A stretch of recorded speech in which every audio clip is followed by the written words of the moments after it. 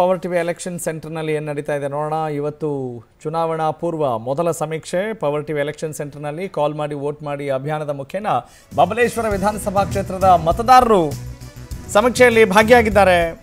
ಕಾಲ್ ಮಾಡಿ ವೋಟ್ ಮಾಡಿ ಅಭಿಯಾನಕ್ಕೆ ಉತ್ತಮ ಸ್ಪಂದನೆ ಎಂದಿನಂತೆ ಸಿಗ್ತಾ ಇದೆ. ಇವತ್ತು ಬೆಳಗ್ಗೆ ಒಂಬತ್ತುವರೆಯಿಂದ ಮಧ್ಯಾಹ್ನ ಹನ್ನೆರಡು ಗಂಟೆವರೆಗೆ ಬಬಲೇಶ್ವರ ಕ್ಷೇತ್ರದ ಚುನಾವಣಾ ಪೂರ್ವ ಸಮೀಕ್ಷೆ ಇದೆ. ಬಹಳ ಉತ್ಸುಕರಾಗಿ ಕರೆ ಮಾಡ್ತಾ ಇದ್ದಾರೆ ಬಬಲೇಶ್ವರ ವಿಧಾನಸಭಾ ಕ್ಷೇತ್ರದ ಮತದಾರರು. ಮಧ್ಯಾಹ್ನ ಒಂದು ಗಂಟೆಯ ಲಂಚ್ ಬ್ರೇಕ್ ಬುಲೆಟಿನಲ್ಲಿ ಬಬಲೇಶ್ವರ ಕ್ಷೇತ್ರದ ಫಲಿತಾಂಶ ಪ್ರಕಟ ಆಗುತ್ತೆ. ಕಾಲ್ ಮಾಡಿ ವೋಟ್ ಮಾಡಿ ಅಭಿಯಾನಕ್ಕೆ ಈಗಾಗಲೇ ಭರ್ಜರಿ ರೆಸ್ಪಾನ್ಸ್ ಸಿಕ್ಕಿದೆ. ಕರೆಗಳ ಮಹಾಪೂರ್ವೇ ಪವರ್ ಟಿವಿಗೆ ಹರಿದು ಬರ್ತಾ ಇದೆ. ಸುನಿಲ್ ಭಾಸ್ಕರ್, ನನ್ನ ಸಹೋದ್ಯೋಗಿ ಈ ಬಗ್ಗೆ ಮತ್ತಷ್ಟು ಮಾಹಿತಿ ನೀಡುತ್ತಾರೆ. ಸುನಿಲ್ ಭಾಸ್ಕರ್ ಬಬಲೇಶ್ವರ ಬಹಳ ಜಿದ್ದಾಜಿದ್ದಿನಿಂದ ಕೂಡಿರುವಂಥ ಕ್ಷೇತ್ರ ಅನ್ನೋದು ಪ್ರತಿಯೊಬ್ಬರಿಗೂ ಕೂಡ ಗೊತ್ತಿರುವಂಥ ಸಮಾಚಾರ. ಸದ್ಯ ಫ್ರೀಡಮ್ ಆಪ್ ಅಲ್ಲಿ ಕಲ್ತು ಹಂದಿ ಸಾಕಣೆ ಮಾಡ್ತಿದ್ದೀರಾ? ಹಾಗಾದ್ರೆ ನಿಮ್ಮ ಹಂದಿಗಳನ್ನ ಒಂದು ಕೋಟಿಗೂ ಹೆಚ್ಚು ಫ್ರೀಡಮ್ ಆಪ್ ಬಳಕೆದಾರರಿಗೆ ಯಾವುದೇ ಖರ್ಚಿಲ್ಲದೆ ಮಾರಾಟ ಮಾಡಿ. ಇದಕ್ಕೆ ಅಲ್ಲಿಯ ಪ್ರಜ್ಞಾವಂತ ಮತದಾರರ ಅಭಿಪ್ರಾಯ ಮತ್ತು ಕಾಲ್ ಮಾಡಿ ವೋಟ್ ಮಾಡಿ ಅಭಿಯಾನಕ್ಕೆ ಯಾವ ರೀತಿ ಸ್ಪಂದನೆ ವ್ಯಕ್ತವಾಗ್ತಾ ಇದೆ ಪವರ್ ಟಿವಿ ಎಲೆಕ್ಷನ್ ಸೆಂಟರ್ ಬಗ್ಗೆ ಯಾವ ರೀತಿ ಟಾಕ್ ಇದೆ? ಕುಡಿ ಗೋಹೆಟ್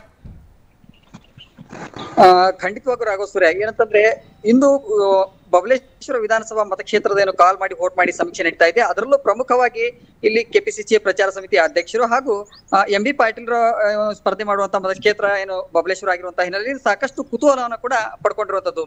ಎಂ ಬಿ ಪಾಟೀಲ್ ಸಾಕಷ್ಟು ಅಭಿವೃದ್ಧಿ ಕಾರ್ಯವನ್ನ ಮಾಡಿದ್ರು ಸಹಿತ ಇಲ್ಲಿ ಇನ್ನುಳಿದಂತಹ ಅಭ್ಯರ್ಥಿಗಳು ಅಂದ್ರೆ ಜೆಡಿಎಸ್ ಆಗ್ಲಿ ಬಿಜೆಪಿ ಆಗ್ಲಿ, ಅವರು ಕೂಡ ನಿರಂತರವಾಗಿ ಮತಕ್ಷೇತ್ರದಲ್ಲಿ ಏನೋ ಓಡಾಟವನ್ನು ಮಾಡೋದ್ರ ಜೊತೆಗೆ ಮತದಾರರ ಮನಸ್ಸನ್ನ ಸೆಳೆಯುವಂತ ಪ್ರಯತ್ನ ಕೂಡ ಅವರು ಮುಂದಾಗಿರುವಂತದ್ದು. ಅದರಲ್ಲಿ ವಿಜಯಗೌಡ ಪಾಟೀಲ್ ಅವರ ಬಗ್ಗೆ ಸಹಿತ ಮತಕ್ಷೇತ್ರದಲ್ಲಿ ಒಂದಿಷ್ಟು ಅನುಕಂಪ ಇದೆ. ಒಂದು ಎರಡು ಮೂರು ಬಾರಿ ಚುನಾವಣೆ ಸ್ಪರ್ಧಿಸಿ ಎಂಬ ಅನುಕಂಪ ಕೂಡ ಏನು ಬಿಜೆಪಿ ಅಭ್ಯರ್ಥಿ ಆದಂತಹ ವಿಜಯಗೌಡ ಪಾಟೀಲ್ ಅವರ ಪರವಾಗಿ ಇರುವಂತದ್ದು.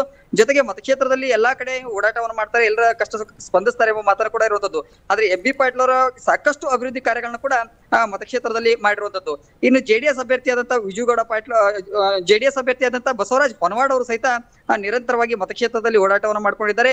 ಎರಡ್ ಸಾವಿರದ ಹದಿನೆಂಟರಲ್ಲಿ ಅವರಿಗೆ ಚುನಾವಣೆ ಸಂದರ್ಭದಲ್ಲಿ ಅವರಿಗೆ ಟಿಕೆಟ್ ಸಿಗಬೇಕಾಗಿತ್ತು. ಆದ್ರೆ ಕೊನೆ ಮೂಮೆಂಟ್ ಅಲ್ಲಿ ಜೆಡಿಎಸ್ನಿಂದ ಅಭ್ಯರ್ಥಿಯನ್ನ ಕಣಕ್ಕಿಳಿಸಲಿಲ್ಲ. ಈ ಬಾರಿ ಅಷ್ಟಾದ್ರೂ ಸಹಿತ ಅವರು ಮತ್ತೆ ಜೆಡಿಎಸ್ನಲ್ಲಿ ಪಕ್ಷದಲ್ಲಿ ಮುಂದುವರಿದ್ರ ಜೊತೆಗೆ ನಿರಂತರವಾಗಿ ಓಡಾಟ ಮಾಡಿರುವಂತದ್ದು, ಇದು ಮತಕ್ಷೇತ್ರದ ಯುವಕರಲ್ಲಿ ಮತ್ತಷ್ಟು ಹುಮ್ಮಸ್ಸು ಹುಮ್ಮಸ್ಸಿಗೆ ಕಾರಣವಾಗಿರುವಂತದ್ದು. ಜೊತೆಗೆ ವಿಜಯಗೌಡ, ಪಾಟೀಲ್ ಅವರ ಪರವಾಗಿ ಒಂದೆಡೆ ಅನುಕಂಪ ಇದ್ರೆ ಉಮೇಶ್ ಕೋಳ್ಕೂರ್ ಹಾಗೂ ಗುರುಲಿಂಗಪ್ಪ ಅಂಗಡಿ ಅಂಬಾತ್ರ ಕೂಡ ಬಿಜೆಪಿ ಪಕ್ಷದಿಂದ ಪ್ರಬಲ ಟಿಕೆಟ್ ಆಕಾಂಕ್ಷಿಗಳು ಆಗಿದ್ದಾರೆ.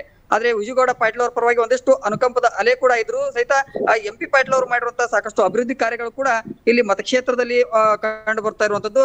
ಒಟ್ಟಾರೆಯಾಗಿ ಈ ಬಾರಿ ಬಬಲೇಶ್ವರ ಮತಕ್ಷೇತ್ರದಲ್ಲಿ ತ್ರಿಕೋನ ಸ್ಪರ್ಧೆ ಏರ್ಪಡುವಂತ ಒಂದಿಷ್ಟು ಸಾಧ್ಯತೆಗಳು ಕೂಡ ಎದ್ದು ಕಾಣ್ತಾ ಇರುವಂತದ್ದು ರಾಘವ್ ಸೂರ್ಯ. ಫ್ರೀಡಮ್ ಆಪ್ ಅಲ್ಲಿ ಕಲ್ತು ಹಂದಿ ಸಾಕಣೆ ಮಾಡ್ತಿದ್ದೀರಾ?